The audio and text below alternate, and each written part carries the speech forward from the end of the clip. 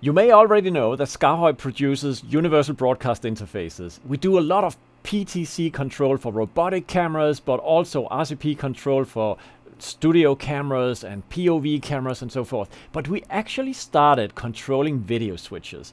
And in this video, I am very happy to formally introduced the TriCaster series for SKAARHOJ controllers.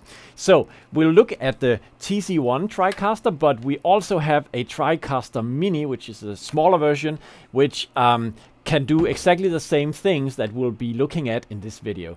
So the TriCasters, they already have interfaces. They have great control panels with lots of colorful buttons and I always think they look impressive and probably are great working with. So what you may want is sometimes a smaller panel than these really are big and colorful and powerful panels. And that's why I want to introduce the Livefly controller from SKAARHOJ to you today. Because in this panel, you have a lot of features packed into really just a, a few buttons. This is the Livefly panel and it's really amazing what has been put into this small compact panel for the TriCaster.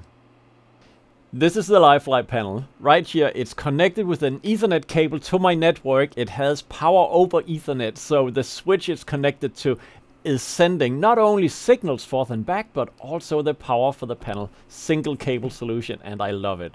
Over here we have the TC1 and also the TriCaster Mini. So it's the TC1 that's currently connected.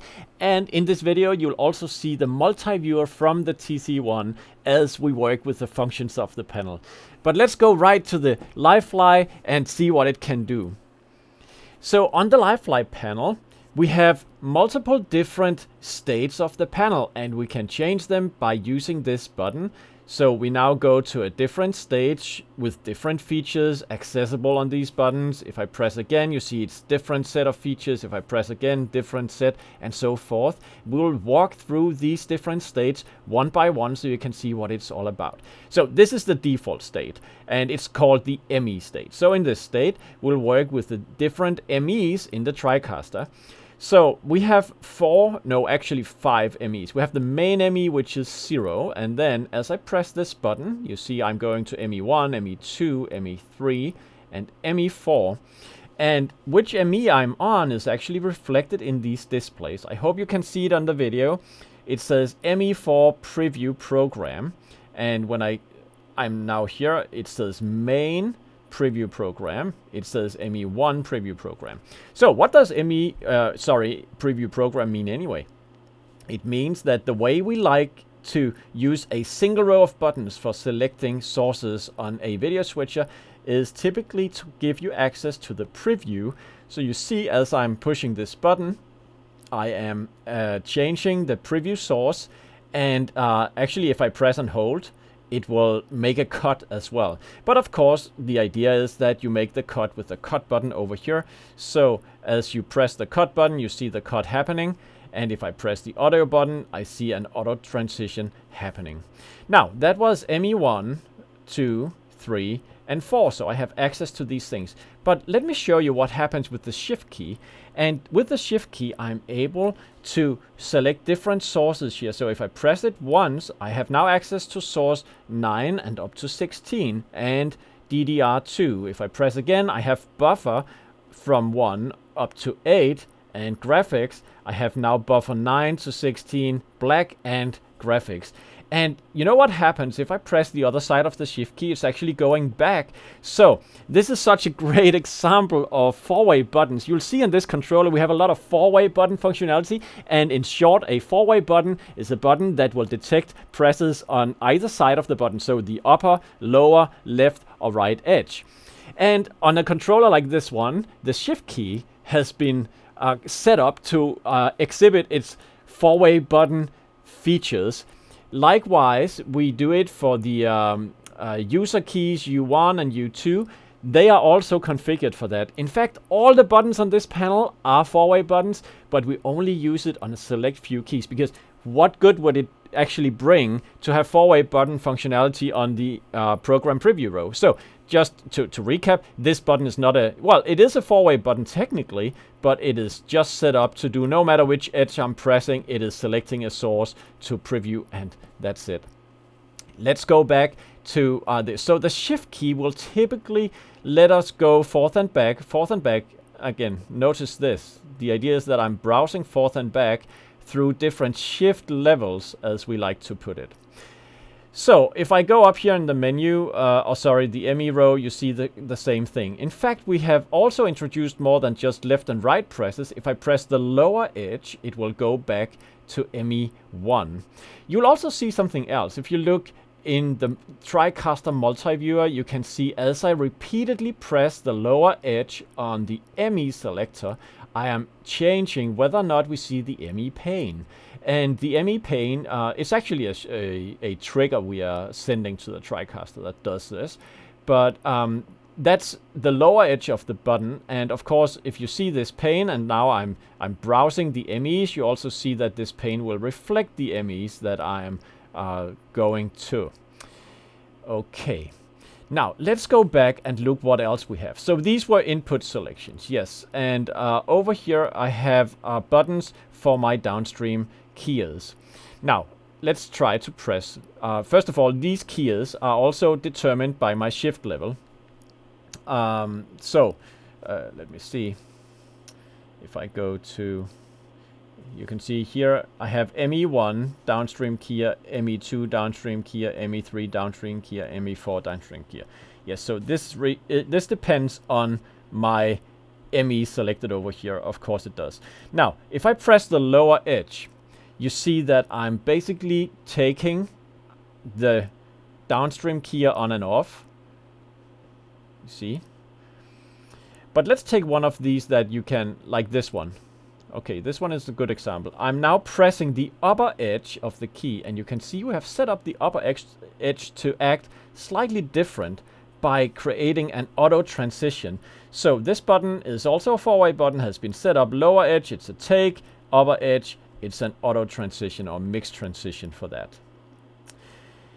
Okay, so, um, over here we have something called output, uh, which we can select different outputs, uh, forth and back. I'll get back to the next tab, uh, sorry.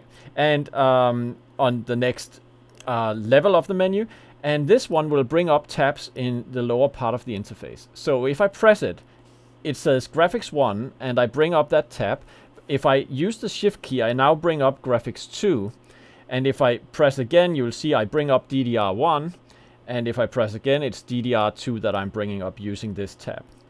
Over here, I can select sources for my uh, downstream keys. And uh, this is an encoder. You can also see that in the interface, I'm changing which source I have on downstream keyer 2. And over here, I have uh, master volume selection. I want to show you that later, so let's just move on to the next menu. On the next menu, it's called output. On this menu, we are selecting output. So uh, the TriCaster has uh, a number of outputs and I can delegate which sources are going to those outputs. That's the purpose of the next menu level on uh, the, the LiveFly. And uh, the output number is selected or shown in, um, in this display. And as I'm pressing this button, I'm changing which output I'm delegating to.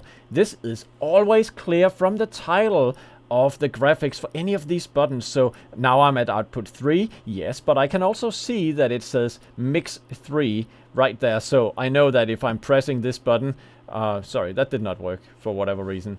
Uh, but this one, mix 3, 16, uh, uh input 16 is uh, sent to that, uh, 12, and so forth. It's, it's reflected right there. Um, again, if I'm if I'm using my shift key, I can go forth and back between uh, all the outputs. So it's really not a problem that you don't have access to um, dedicated buttons for every single output because you have this paging functionality built into the shift key. And um, that's one way to make a small panel like this so flexible and powerful as we have done in this example.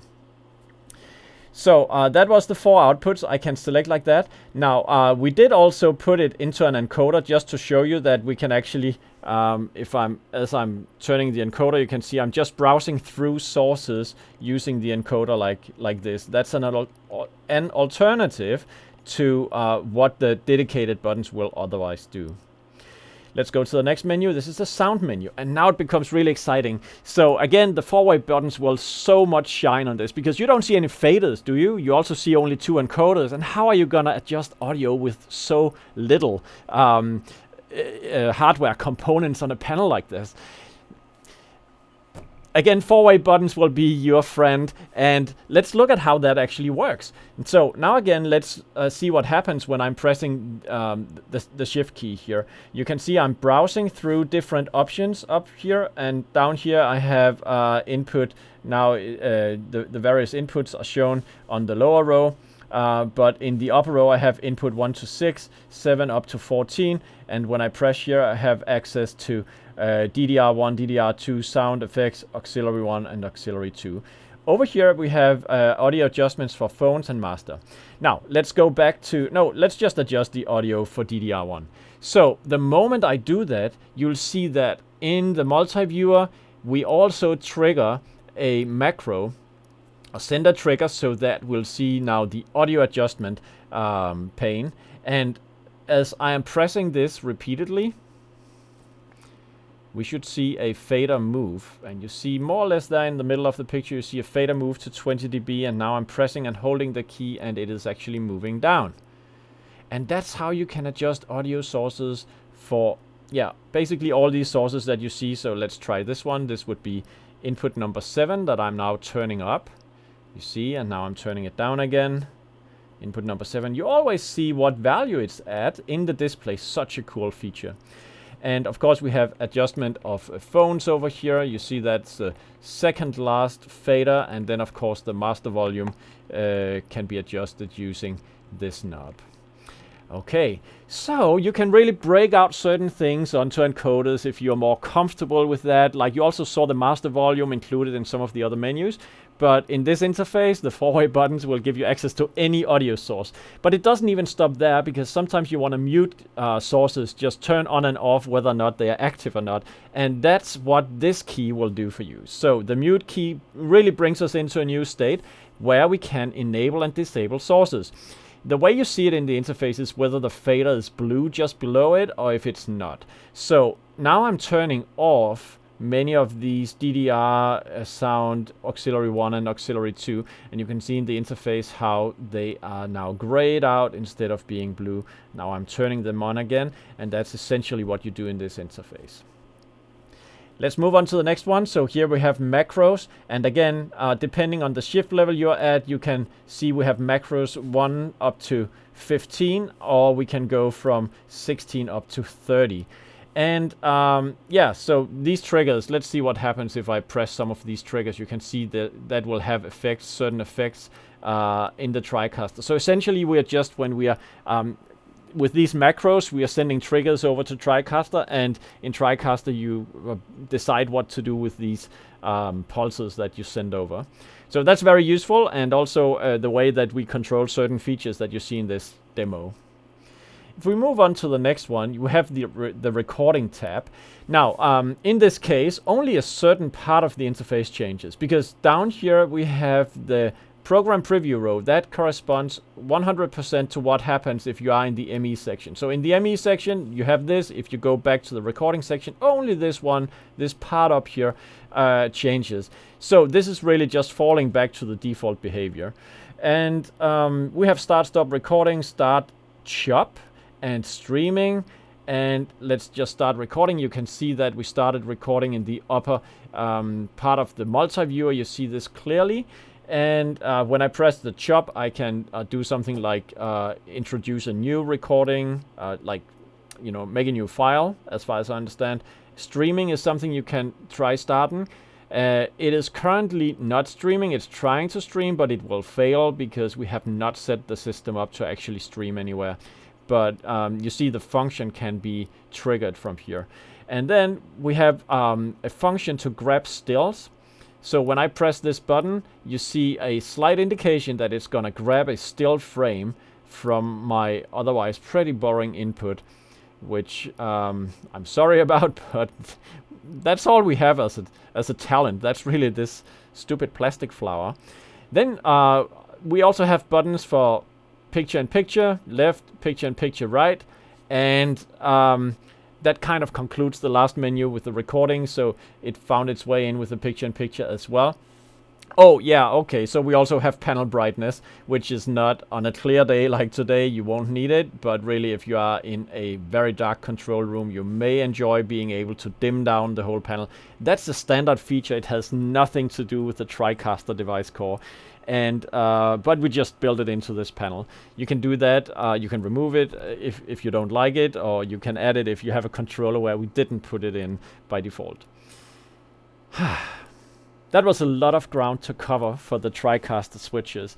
We are very excited about this panel. And actually, you, you may think, hmm, the reason for having a small panel was really to just cut down on the functionality. So why would I want to have tons of shift levels and states and menus and my user can get lost in this? Okay, to be fair, I just want to show you how much we can do. You can always peel away layers of functionality, simply removing it out of the configuration of our controllers. And if you're interested in seeing how to con configure our controllers, we have a lot of videos online, and you can um, you can from those videos understand that the same principles applies. So this controller has a web interface. In this web interface, you will see all this functionality as drop down boxes. And if you don't like it if you want to peel some of that away to make a simple very user friendly and limited panel configuration no problem at all. If you want us to help you doing that we can probably do so. We are looking forward to feedback from TriCaster users all over the world. So please mail us if you have feedback, if you if you want to contribute configurations, or if you're just generally excited about what we're doing. So it works on the TC1, it works on the TriCaster Mini, and um, we um, yeah we are excited to to bring this to the market and hear from all you TriCaster users out there uh, how you like it.